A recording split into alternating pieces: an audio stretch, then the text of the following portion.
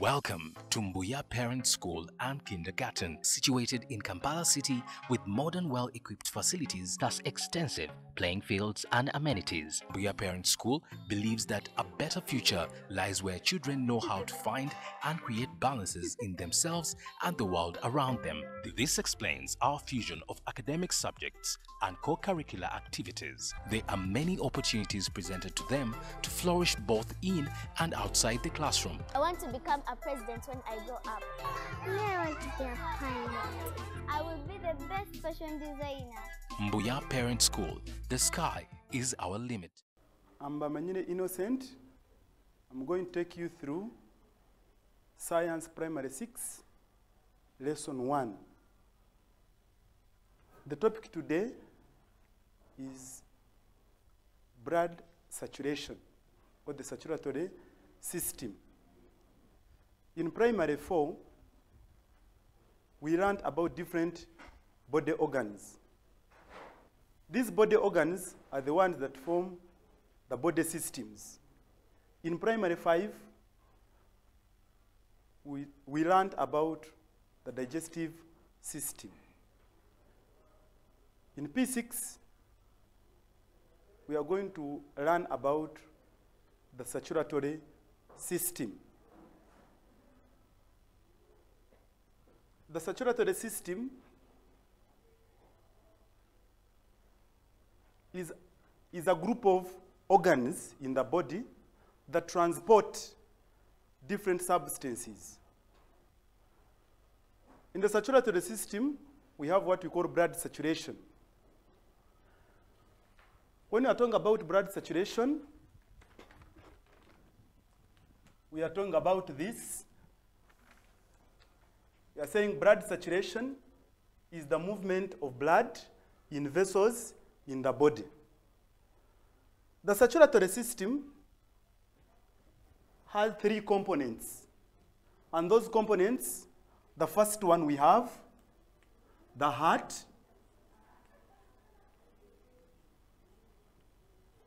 the second one we have blood vessels,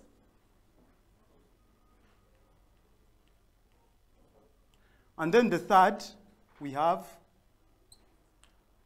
blood as a component of the circulatory system. In today's lesson, we are going to look at the heart, the parts of the heart and their functions. We are also going to look at the blood vessels that are connected to the heart. And then we're also going to look at blood, how blood moves heart. When we are talking about the heart, the heart is a muscular organ that pumps blood in the body. The heart is found in the chest cavity, and in the chest cavity, there are not only the heart is not the only organ which is there. We also have the, the lungs. We have this, there are two, and the heart is one. Our heart is covered in a tough membrane, and this membrane is called pericardium. I want you to see this. This is the heart. It is enclosed. Now I have just removed this part. This is the tough membrane called the pericardium. Pericardium. This is the word.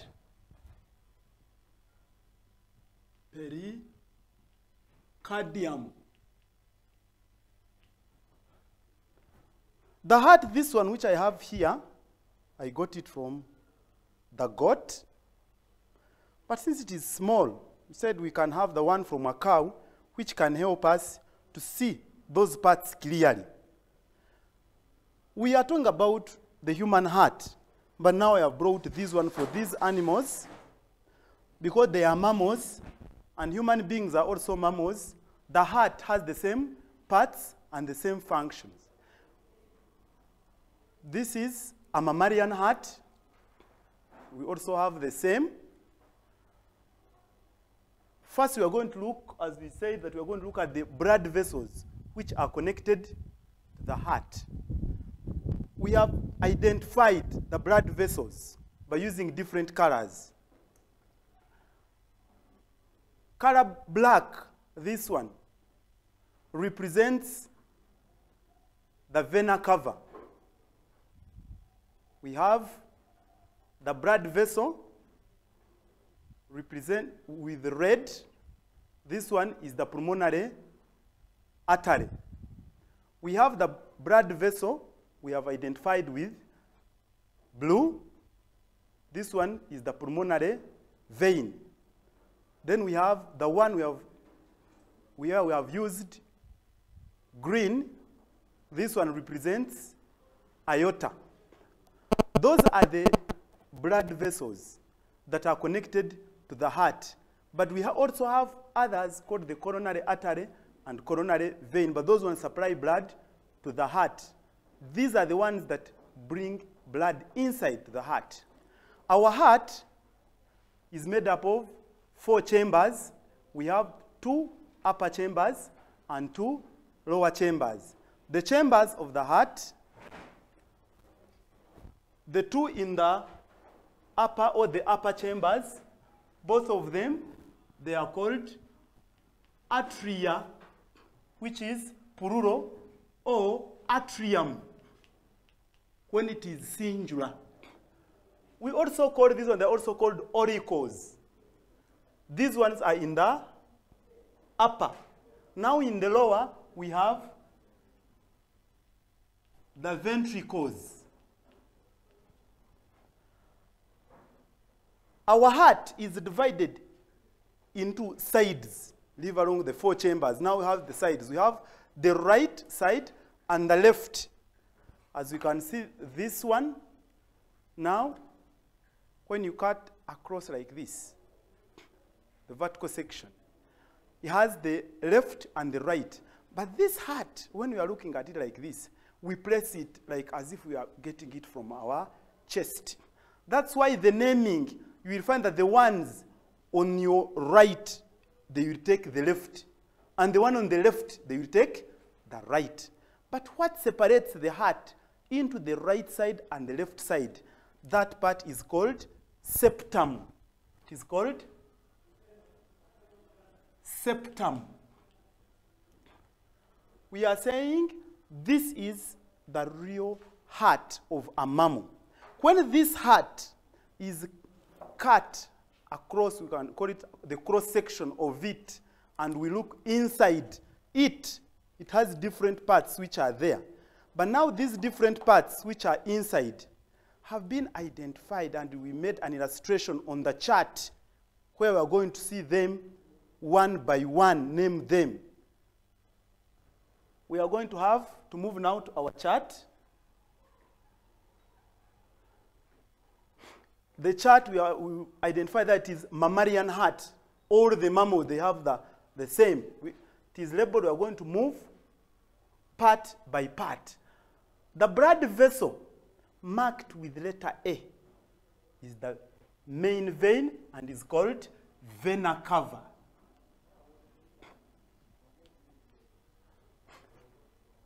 When we move the blood flows, this is one of the upper chambers.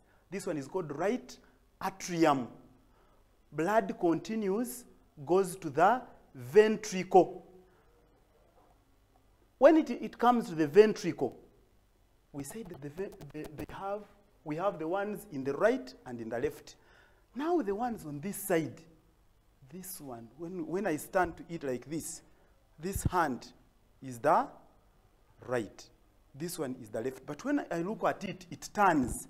But that one does not change. This one still remains the right ventricle.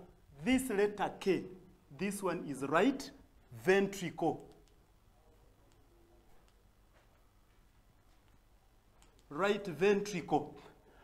This right ventricle pumps blood now to move up. But there is a chance that this blood can go back to the atrium. Now we have part F. This part F, there are valves, and those valves are called tricuspid valves. Part F is for tricuspid valves. Tricuspid valves prevents blood from flowing back to the right atrium. Now blood will take this direction through these valves, and this one they have the same name, and they are called semilunar valves. Now blood will continue with this part C. Now the blood vessel marked C is called pulmonary. Is called pulmonary artery. Blood vessel C is pulmonary artery. Now this blood is now going to the lungs. It goes to the lungs to be oxygenated. It drops their carbon dioxide and picks more oxygen. Now blood is again coming back to the heart. Now it is using blood vessel marked B. This blood vessel marked B is called pulmonary pulmonary vein. It brings blood from the heart, it brings blood from the lungs to the heart. Now it enters into the another chamber marked E. This chamber is now called it is now called left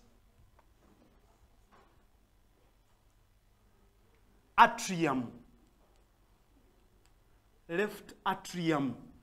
But no, I've told you we can still use the word auricle. Now we have used atrium, but you can use auricle, but it is on the left side. Blood flows now to the ventricle. This ventricle, which is marked I, is called left ventricle. Part G now. Blood in the left ventricle, when pumped, it can go back to the left atrium. But we have the valves which are marked with the letter G. That letter G stands for, for bicuspid valves. Bicuspid valves. Bicuspid valves, are this one now blood will not go back because these ones prevent the backflow of blood back to the left atrium. Blood will take this direction through the semilunar valves, which are marked with letter T. They are called semi semilunar valves. That is part. That is part G. Then blood will continue now to go back to the heart, to the, to the body. Remember this A brought blood from the body. Now this one is taking blood to all other body parts, and this one is our main artery and is called aorta. It is called aorta.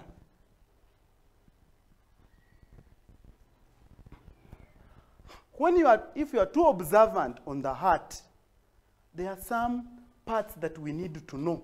I mentioned the word septum that, separ- that divides the heart into the left and then the right.